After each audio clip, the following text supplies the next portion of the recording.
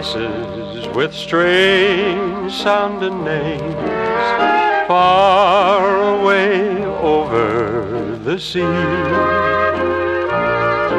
Those far away places with the strange sounding names are calling, calling me.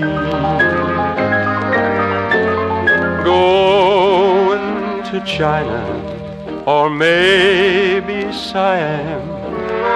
I want to see for myself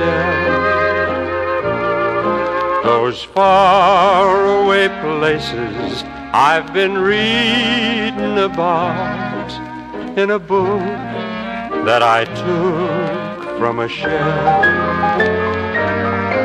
I start getting restless whenever I hear the whistle of a train.